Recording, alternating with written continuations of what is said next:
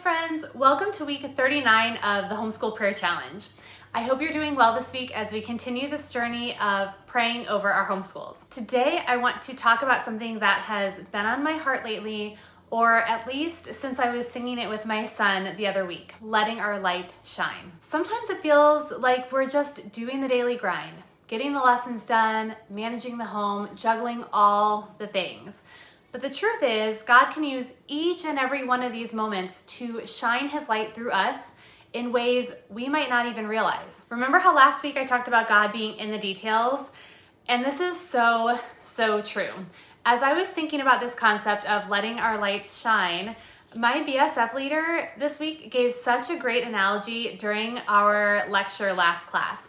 She compared the church, each of us who believe in Jesus, to a stained glass window. And there happens to be beautiful stained glass in the church that we meet at. And she said that each of us are like one of those pieces of the larger stained glass design, whatever you call it, that big design. When the light of Christ shines through us, like light shines through that stained glass window, each of us shines and magnifies different parts of God's character and design in the unique way He made each of us. When the light of Christ shines through us, we can beautifully represent Christ to our kids and even to the world. You guys, I know I'm not doing it justice. I think she shared the analogy much better than me, but maybe you get the picture. I just thought it was perfect. Sometimes we forget that the light of Christ lives in us. I know I can forget this. And we forget that through our faithfulness, we are shining His light, even in the day to day moments that might seem ordinary. Matthew 5 14 through 16 says, You are the light of the world. A city on a hill cannot be hidden. Neither do people light a lamp and put it under a bowl. Instead, they put it on its stand, and it gives light to everyone in the house. In the same way, let your light shine before men, that they may see your good deeds and praise your Father in heaven. What a powerful reminder. As believers, we are the light of the world. It's not a light we've created on our own, it's the light of Christ in us. And we're called to let that light shine, to reflect God's love, grace, and truth in everything we do, whether it's teaching a math lesson, making lunch for the hundredth time, or helping our kids work through challenges. As we go through the day homeschooling our kids, we have so many opportunities to reflect God's light.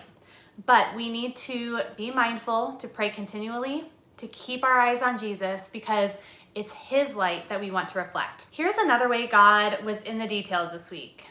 Seriously, you guys, He's just amazing.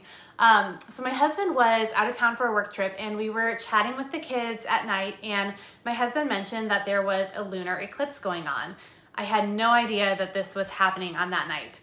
Um, but we all went to the window and sure enough, we saw a full moon except the top part was kind of cut off a bit. And it reminded me again of this concept of letting our light shine. The moon obviously reflects the light from the sun, just like we are to reflect the light of Christ. But during a lunar eclipse, the earth gets in between the moon and the sun. So it's like the moon is looking at the earth and it doesn't shine how it normally would. And it's the same for us, isn't it? When we look to Jesus, when we are prayerful and intentional with our relationship with Him, we reflect Him more to those around us. But when we look at the earth, or in other words, the world, we reflect the world instead. Which one do we want to do? Which one do we want to reflect, right?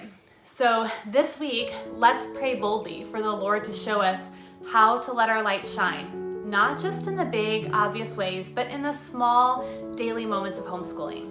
Ask Him to open your eyes to the opportunities around you, whether it's showing grace to your children, sharing your faith with others, or simply being a reflection of His love in all that you do. Let me pray for us. Heavenly Father, I praise you for the gift of homeschooling and the opportunity to be a light to my family and others around me.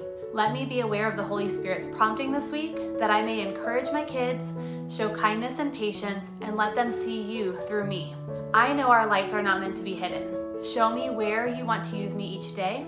Show me how you want us to use our time as a homeschool family to share the gospel and bring hope to a world lost in darkness. Use our strengths, talents, gifts, and our time, not for our own recognition, but for yours. And thank you for sending Jesus, our only light and salvation, who willingly made the ultimate sacrifice for us.